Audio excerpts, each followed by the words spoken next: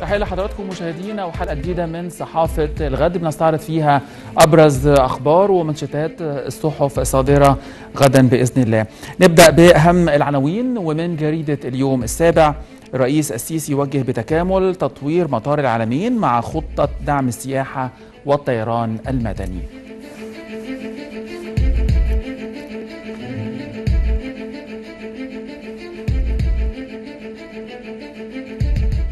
من جريدة المصري اليوم الصحة تتسلم أول مليون جرعة من لقاح كورونا المحلي.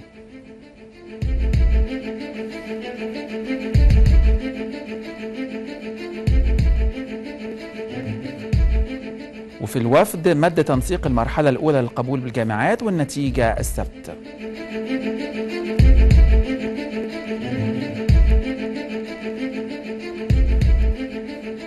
اليوم السابع الأبيض بطل دوري 2021 و150 ألف جنيه مكافآت وهدايا في انتظار لاعبي الزمالك.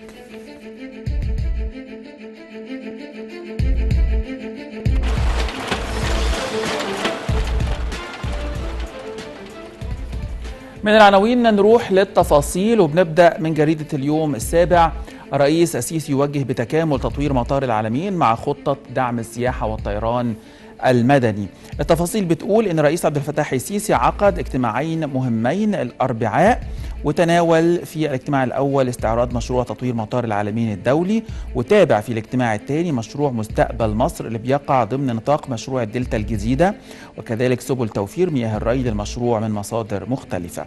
الرئيس طلع في هذا الإطار على مشروع تطوير مطار العالمين ليصبح مطار دولي ذكي بيعتمد على أحدث التكنولوجيا ويحتوي على كافة الخدمات بالتعاون مع كبرى الشركات العالمية المتخصصة في مجالات الطيران والمطارات الدولية وطبعا طبعا ده استثمار الموقع الجغرافي المميز للمطار ومدينة العالمين الجديدة واللي بيؤهل مطار العالمين ليصبح محور رئيسي للنقل الجوي والتجاري واللوجستي لجميع دول العالم حيث وقع المطار على حوض البحر المتوسط بما يمكنه من ربط شمال أفريقيا وجنوب أوروبا سياحيا واقتصاديا وتجاريا. وجه الرئيس بأن يتكامل ذلك المشروع مع خطة الدولة لدعم قطاع السياحة والطيران المدني في إطار تنمية وتطوير الساحل الشمالي الغربي للبلاد بهدف استقطاب مختلف أنماط الاستثمارات المحلية والأجنبية خاصة أن ظهير تلك المنطقة يشهد نمو متزايد سواء المتمثل في مشروع الدلتا الجديدة أو إنشاء مجتمعات عمرانية ممتدة وهو ما يعزز جهود الدولة في التوسع في إنشاء مراكز تنمية شاملة جديدة بعيدا عن مناطق التكدس السكاني.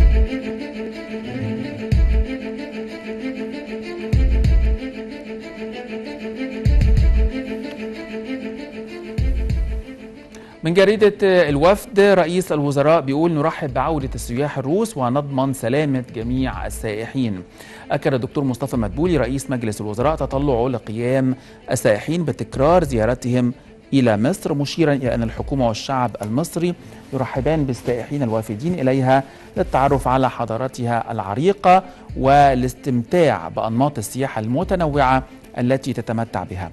جاء ذلك على هامش زيارته لمعبد الكرنك حيث أجرى حوارات مع بعض السائحين الموجودين بالمعبد للاستماع إلى آرائهم وانطباعاتهم خلال زيارتهم لمصر. مرحبا بعودة السائحين الروس إلى مصر ومؤكدا حرص الدولة المصرية على ضمان سلامتهم واستمتاعهم بمعالمنا الأثرية أثناء زيارتهم. تفقد الدكتور مصطفى مدبولي رئيس الوزراء أيضا استعدادات احتفالية افتتاح طريق المواكب الكبرى المعروف باسم طريق الكباش بعد التطوير والترميم تزامنا مع احتفال الأقصر بعيدها القومي إضافة لافتتاح عدد آخر من المشروعات.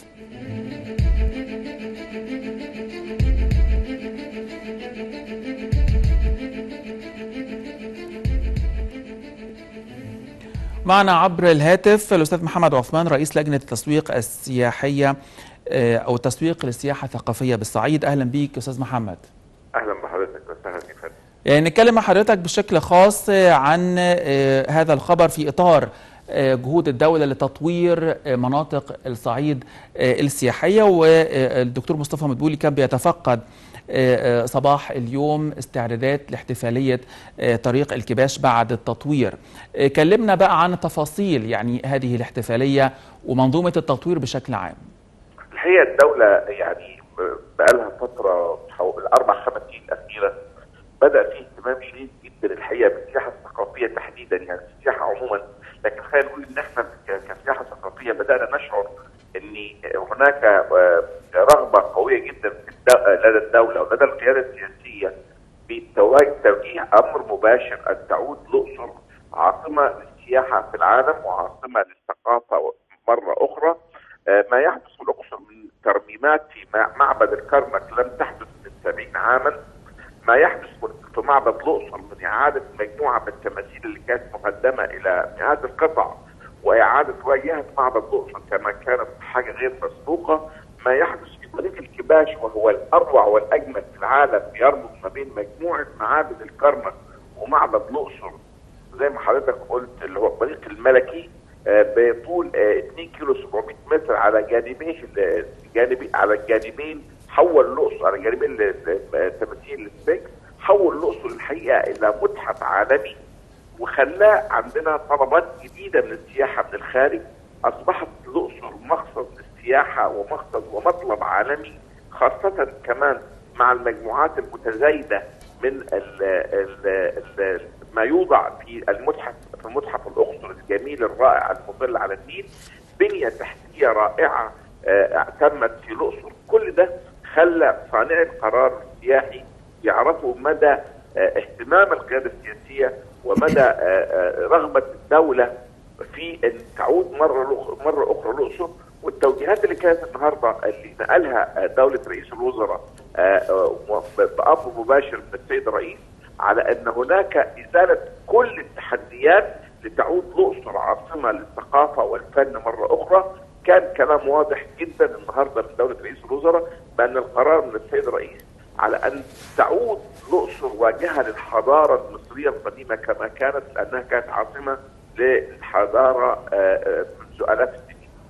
امم تمام. طيب إحنا عارفين إن في احتفال بالعيد القومي للأقصر. يعني كلمنا عن هذه الاحتفالية. آآ آآ الجانب السياحي أيضا الحجوزات والإشغالات السياحية اللي موجودة في الأقصر والاستعداد للموسم السياحي القادم الإجراءات الاحترازية المفترض إنها تكون مطبقة لمواجهة فيروس كورونا. يعني كل ما يتعلق بهذا الملف.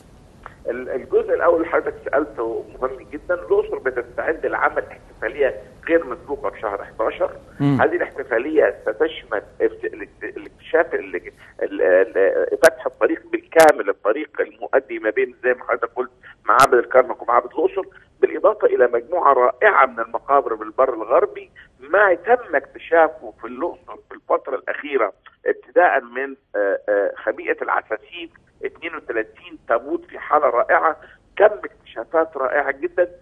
كلها هيتم عرضها مجموعة دراع أبو النجا وما يسمى بمقابر ملوك الذهب.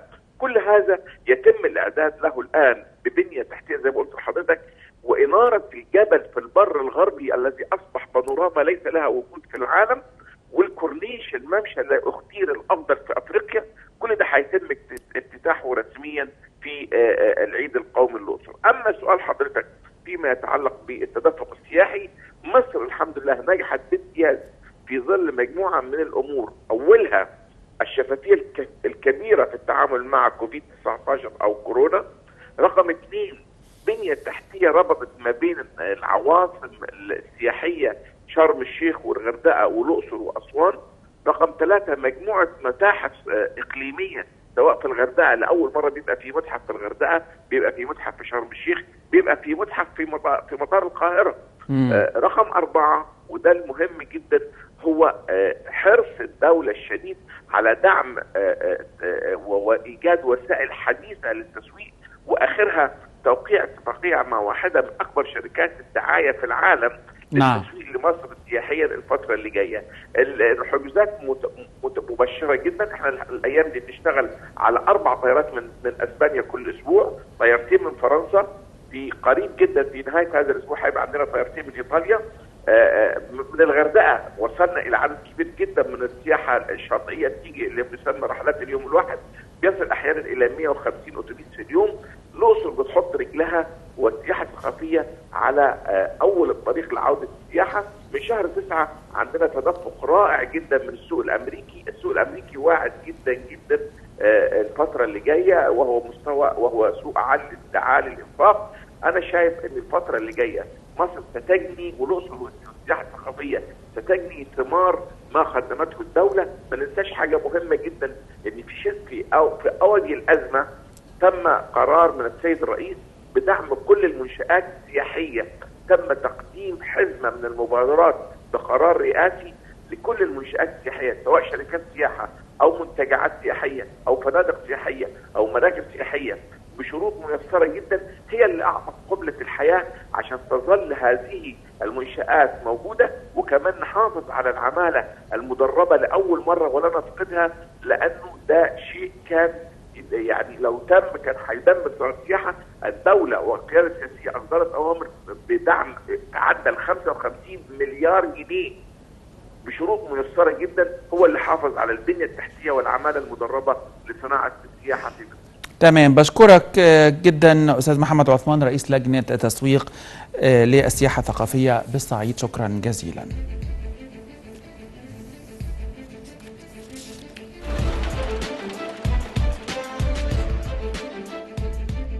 بنواصل جولتنا في صحافة الغد ومن جريدة المصري اليوم وزارة الصحة تتسلم أول مليون جرعة من لقاح كورونا المحلي. التفاصيل بتقول أن وزيرة الصحة دكتورة هالة زيد أعلنت الأربعاء أن الوزارة تسلمت أول مليون جرعة من لقاح فاكسيرا سينوفاك المضاد لكورونا والمصنع محليا بعد إتمام مراحل الاختبارات. وجي في بيان على الصفحة الرسمية للوزارة عبر فيسبوك أن ده بيأتي وفقا لاتفاقية التعاون بين شركة سينوفاك الصينية والشركة القابضة للمستحضرات الحيوية واللقاحات فاكسيرا وتوزيعها على مراكز تلقي اللقاحات بمختلف محافظات الجمهورية. الوزيرة أكدت أن ما حققته شركة فاكسيرا يعد نقلة نوعية وتاريخية في مصر وقال الدكتور خالد مجاهد مساعد وزيرة الصحة والسكان والمتحدث الرسمي للوزارة أن جرعات لقاح فاكسيرا سينوفاك تم تسليمها إلى مخازن التموين الطبي بوزارة الصحة والسكان بعد إتمامها لمراحل الاختبارات اللازمة وفقا لاشتراطات منظمة الصحة العالمية وتوزيعها على مراكز تلقي اللقاحات. لفت كمان إلى أنه جاري الانتهاء من مراحل التصنيع والتحليل لمليون جرعة وهي القدرة الإنتاجية لشركة فاكسيرا شهريا تمهيدا لتوزيعها على مراكز تلقي لقاحات كورونا على مستوى الجمهورية.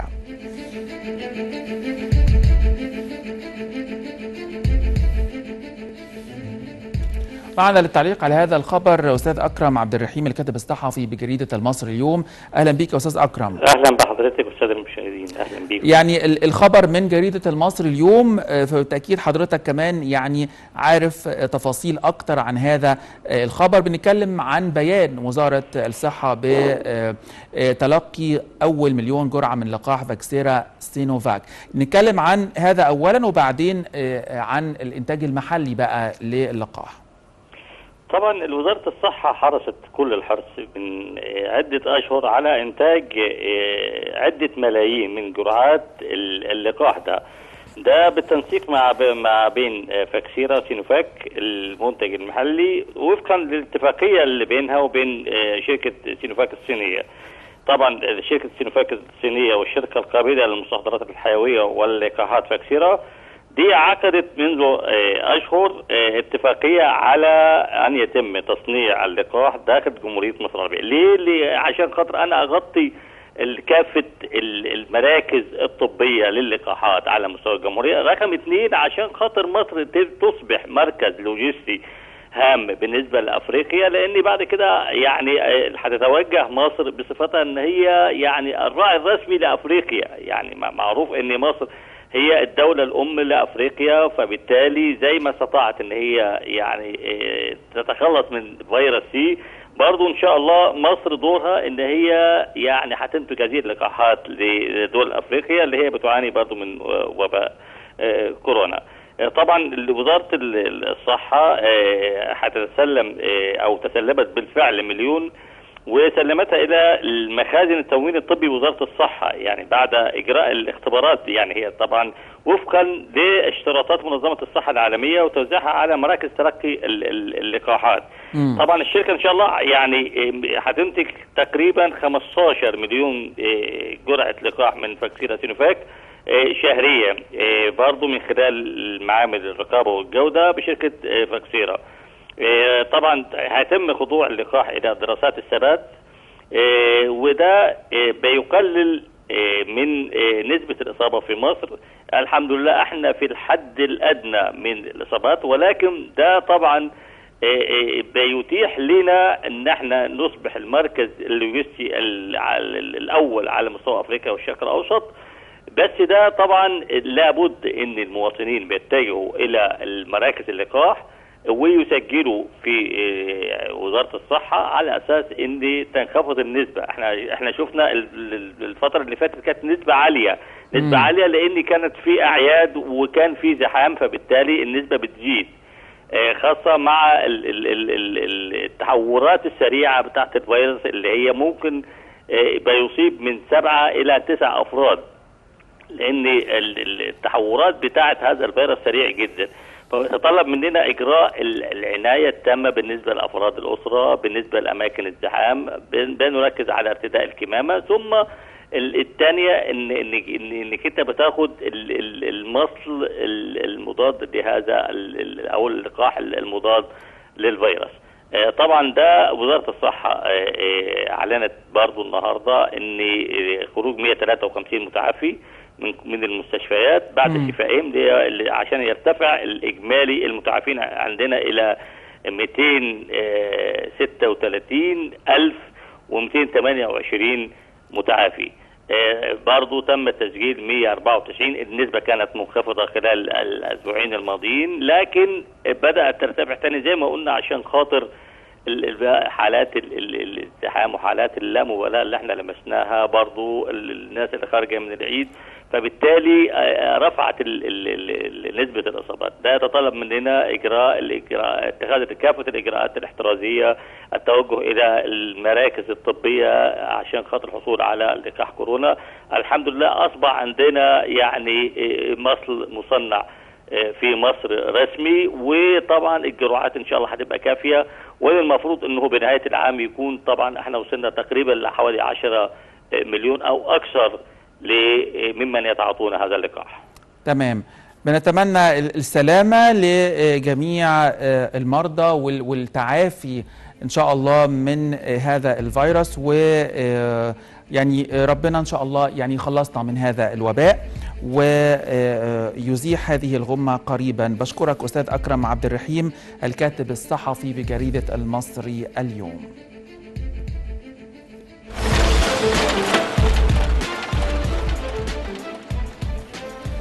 من جريدة اليوم السابع السعودية تسمح بعودة العمالة المصرية الحاصلة على جرعتي التطعيم داخل المملكة.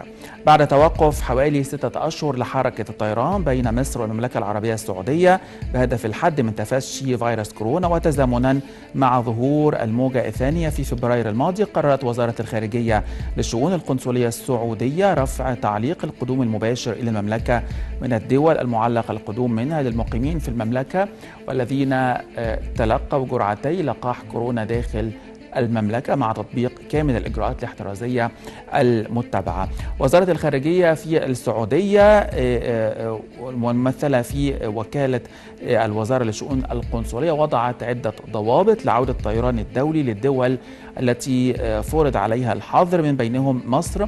وهي تلقي راغبين في العودة جرعتي اللقاح داخل السعودية قبل مغادرتهم السعودية لتنضم إلى الفئات المستثناة الأخرى وهم العاملون المصريون بالقطاع الصحي السعودي وأسرهم والدبلوماسيون والمواطنون السعوديون. خبر آخر من جريدة الوفد تكليف رئاسي بتحويل مصر لمنطقة لوجستية عالمية متطورة. أكدت وزارة المالية حرص الدولة بقيادتها السياسية على تهيئة البيئة المواتية لتحفيز الاستثمار من خلال تبسيط وميكنة الإجراءات للتيسير على مجتمع الأعمال بما يسهم في فتح آفاق رحبة أمام القطاع الخاص المحلي والأجنبي في شتى القطاعات باعتباره قاطرة التنمية الاقتصادية وأحد محركات النمو الغني بفرص العمل على نحو يساعد في الاستغلال الأمثل للفرص التنموية الواعدة التي تتيحها مصر في مشروعاتها القومية العملاقة غير المسبوقة.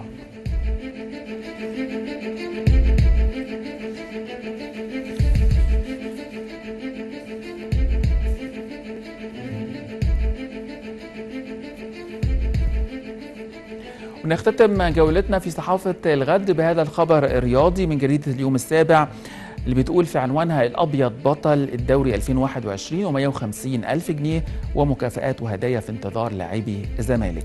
عاشت جماهير الزمالك ليلة سعيدة بعد تتويج فريقها بدرع الدوري المرة الثلاثة عشرة في تاريخ القلعة البيضاء إثر فوزه على الإنتاج الحربي بهدفين نظيفين وارتفاع رصيد الفريق إلى النقطة 79 بفارق ست نقاط عن منافسه التقليدي الأهلي.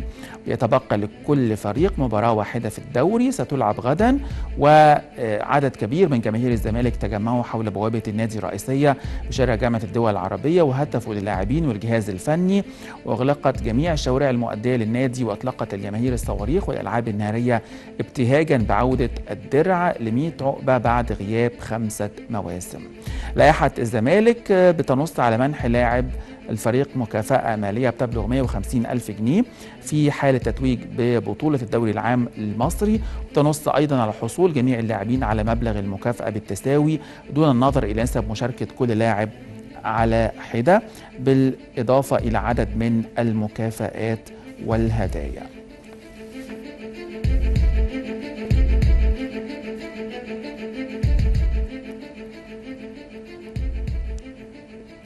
ألف مبروك لنادي الزمالك والجماهير آه نادي الزمالك. بشكركم جدا على حسن المتابعة وصلنا بكده لنهاية هذه الحلقة من صحافة الغد. إلى اللقاء.